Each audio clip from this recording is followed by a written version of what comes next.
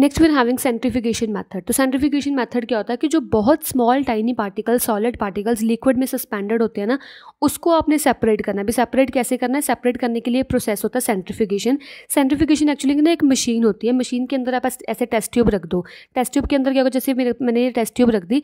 Test tube के अंदर ना बहुत छोटे छोटे फाइन पार्टिकल सॉलिड किया जिसको मैं ऐसे सेपरेट फिल्ट्रेशन से भी नहीं कर सकती, कोई मैथड से भी नहीं कर सकती, पर मेरे को सेपरेट करनी है। अब मैं सेपरेट कैसे करूँगी?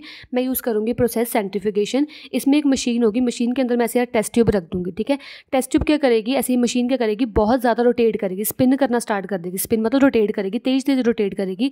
कुछ टाइम बाद आप जिसको स्टॉप करोगे, आप क्या देखोगे कि जो हमारे पास यहाँ पे पार्टिकल्स होंगे, जो हमारे पास हैवियर पार्टिकल्स होंगे, वो नीचे आके बैठ जाएँगे आउटर एजेस पे नीचे आके बैठ जाएँगे और जो लिक्विड मतलब थोड़ा सा लाइटर लिक्विड होगा, वो ऊपर आके बैठ जाएगा, ऊपर आ जाएगा, ठीक है?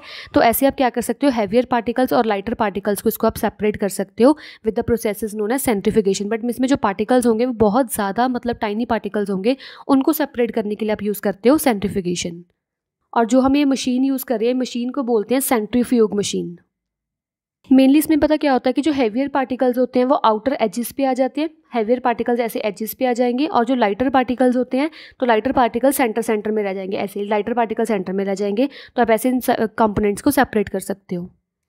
अगर आपको मिल्क में से क्रीम निकालनी है, ठीक है तो आप सेंट्रिफिकेशन का प्रोसेस यूज़ कर सकते हो, क्योंकि इसमें क्या होता है कि ज़्यादा अमाउंट ऑफ़ जो स्पीड होगी स्पीड होने पे क्या होता है कि जो लाइटर क्रीम होती है, वो टॉप पे कलेक्ट हो जाती है और जो रेस्ट ऑफ़ द मिल्क होता है, वो नीचे नीचे रह जाता है।